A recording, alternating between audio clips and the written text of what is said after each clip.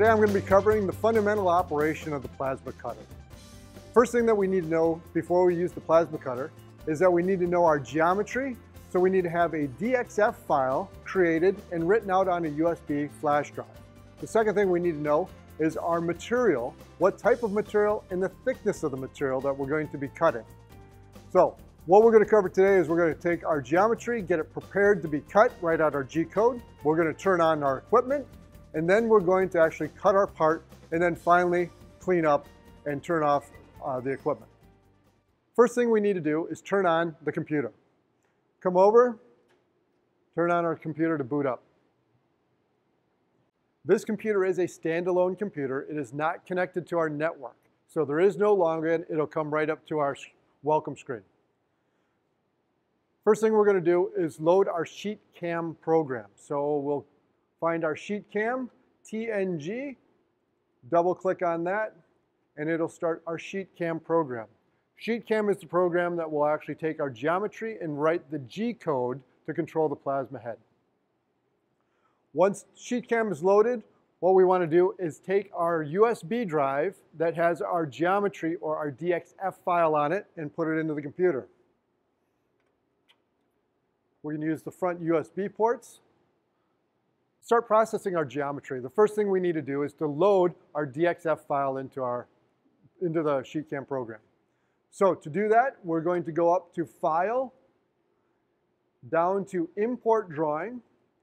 Now we're going to navigate to our directory on our USB drive, and in this case, I have a video sample DXF file. I'll select it and then open it. It will come up with a box. Uh, we can pretty much take the defaults, but we have the scaling in the inch format, and the drawing position is in the lower left-hand corner. For the most part, we always want to use the lower left-hand corner for our origin. So we'll say OK. It will then load our drawing, and you can see your geometry should be visible on the screen. In this case, I have a square with a circle cut out in the middle of it. Now that I can see my geometry, now we need to start setting up what geometry we want to actually cut. And to do this, we are going to be doing a plasma cut. So we go up to the File menu and actually go to Operation, go to Plasma Cut, and this will start a new plasma cut. And in this case, there's three tabs at the top of this, but we are only going to use the leftmost uh, tab. Uh, a lot of these settings are just going to be default, uh, but we do need to set a couple of them. First, contour method, no offset, that's by default. We'll accept that. The layer says layer one. If there's no layer selected in here, we do need to select layer one. That's where our geometry is. Uh, tool is by default. Uh, we won't change that.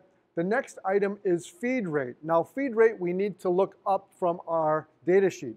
Now there is a sheet here that uh, is uh, included with the plasma cutter and we need to get the feed rate off of this chart.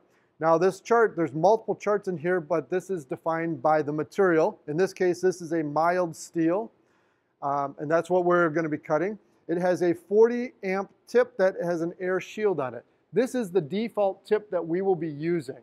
Uh, if the tip needs to be changed or if there's a different tip in there, please see the lab manager to make the modification and change the tip. We will not go through changing the tip in this video.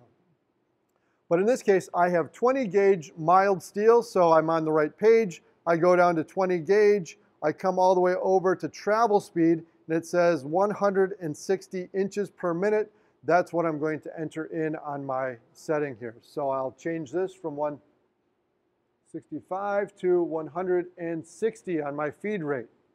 Uh, max chain length, zero, that is fine. Next is our lead in and lead out. We have arc checked by default.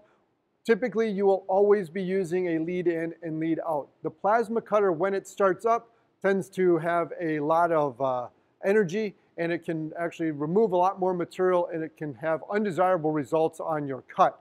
So what we'll do is we'll use a lead in and lead out uh, in that to help prevent that. And we'll talk a little bit more about the lead in and lead out in just a moment.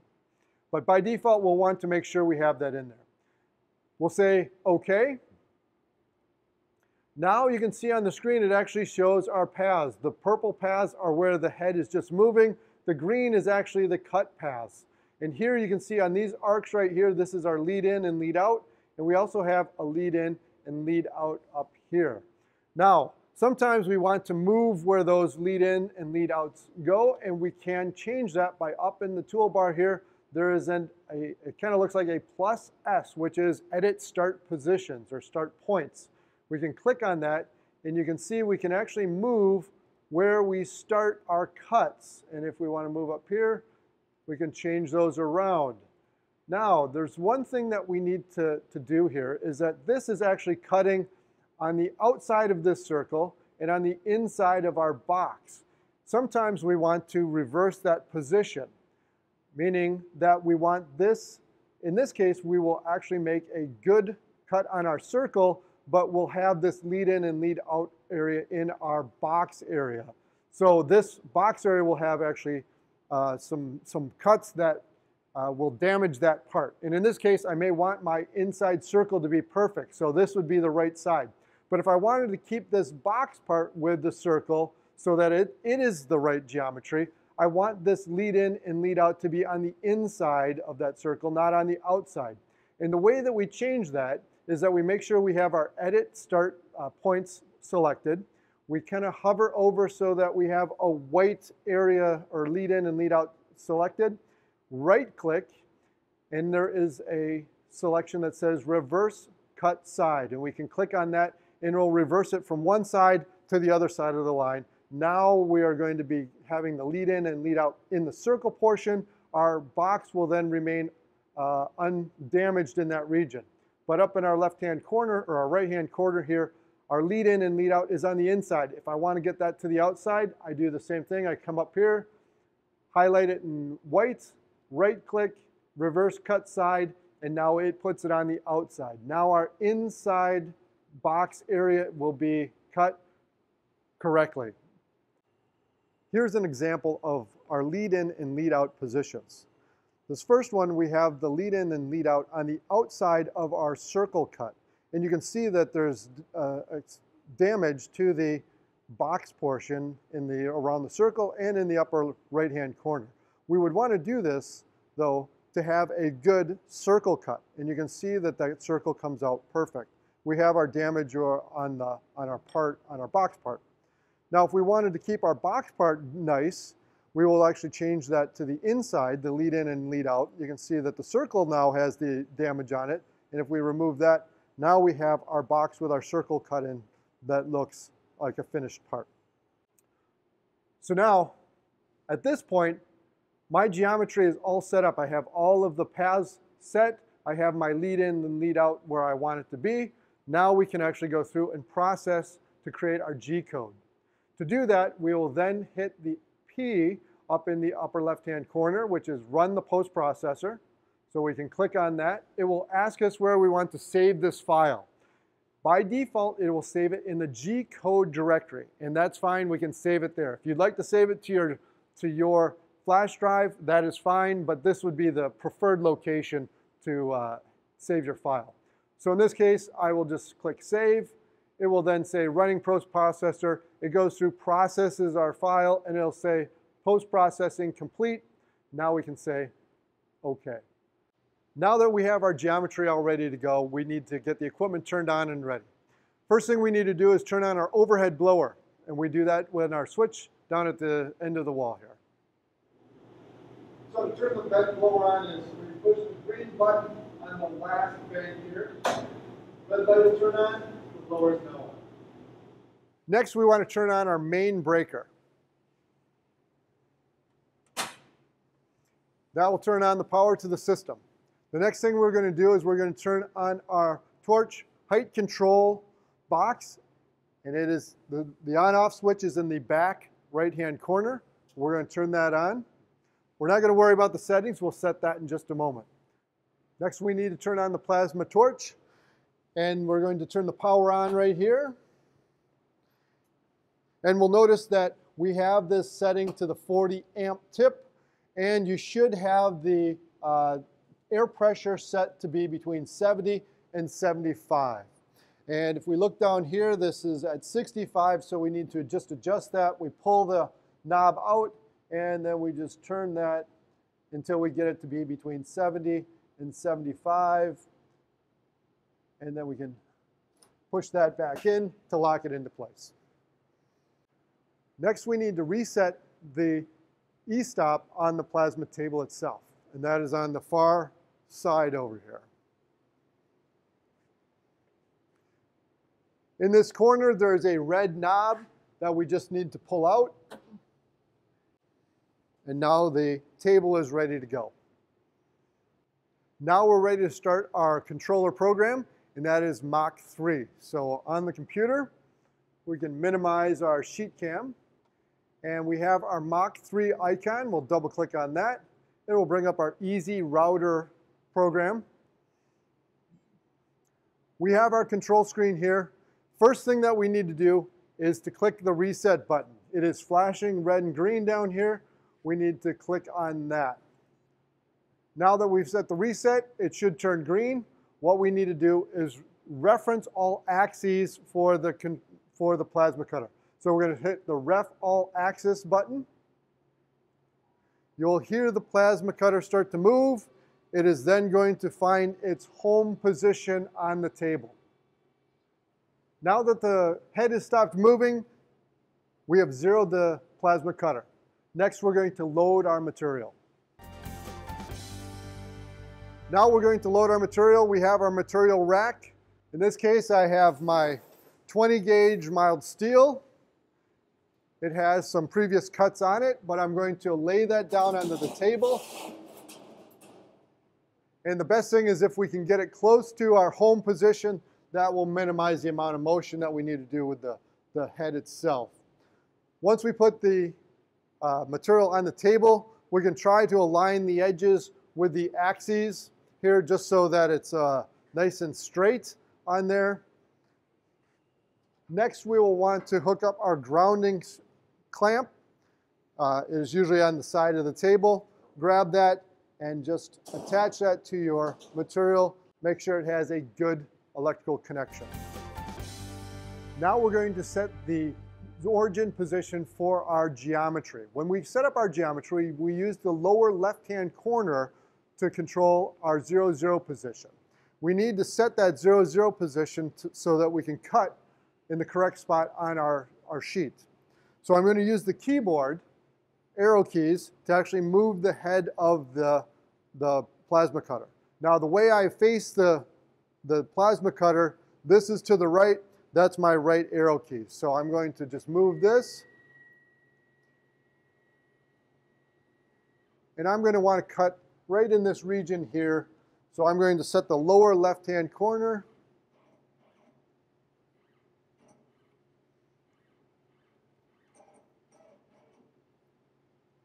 Right there. So I've moved it over and uh, I can actually move the head up and down if I needed to get a little bit closer so I can see where I'm at. And yes, that's where I want to be. Now that we have our torch head location set, we need to zero it out on the computer. So we're going to zero torch head, or click the zero torch head button. We're going to click on that.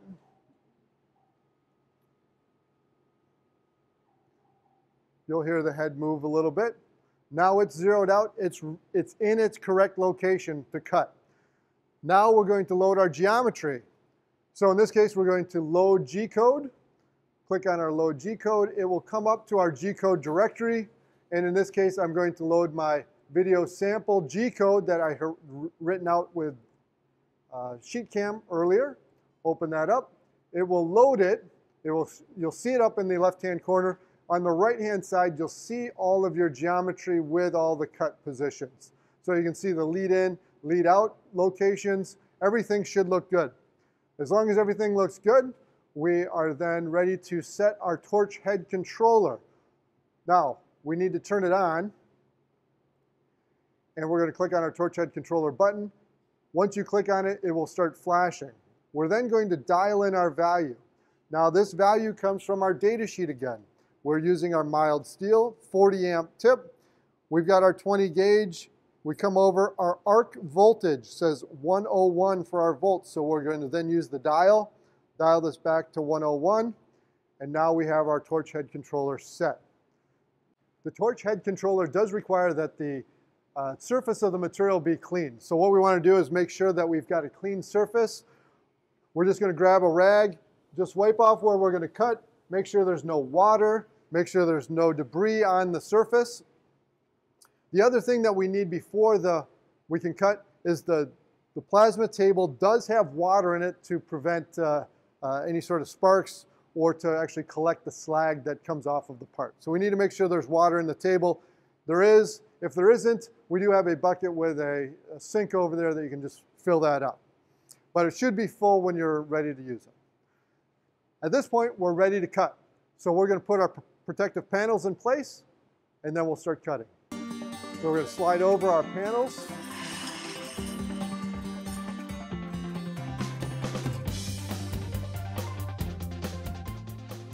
Now we're ready to start cutting. To start cutting, we need to press the green cycle start button. Here, we'll just come over, click cycle start. It'll turn green. The head will start moving.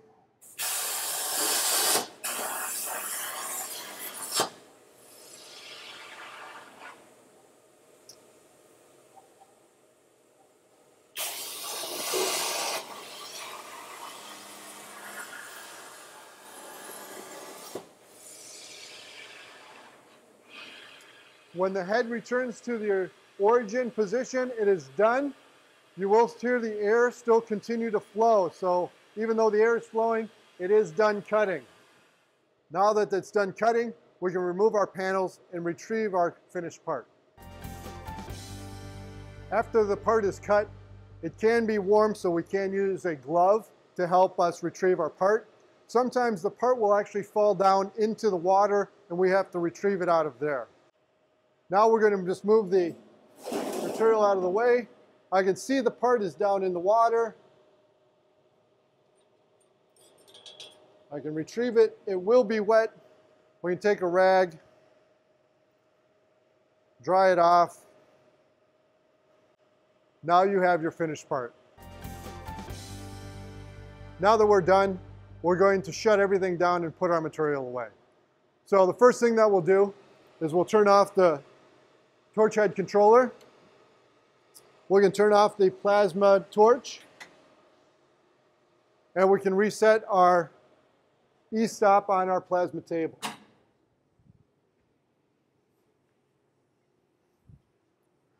Next, we can turn our breaker off. And now we can put our material away. Unhook our grounding strap. Put our material back on the rack.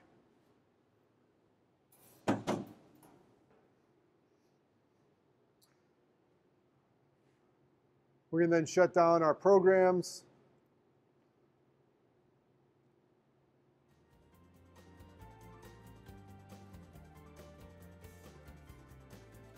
and shut down our computer. And finally, we will want to turn off the overhead blower. Thank you very much.